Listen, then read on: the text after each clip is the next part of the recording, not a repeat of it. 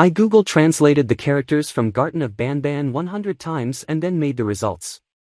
Starting with the newest one the Jumbo Josh from Chapter 3. Jumbo Josh turned into payments.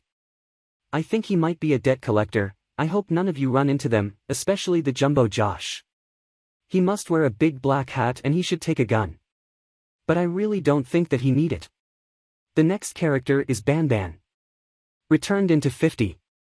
That's 50 cents, I think so, he has to stand on stage with a full spectators, he has to wear a red cap turned to the side and glasses that will emphasize his brutality throughout the concert of course, he must have world hits, he's a famous singer after all.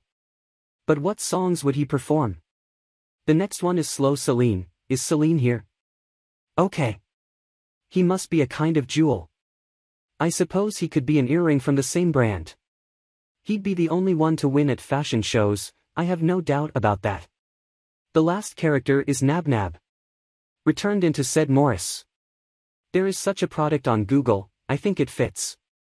He looks very funny especially when he is being watched so closely by animals. Subscribe to this channel.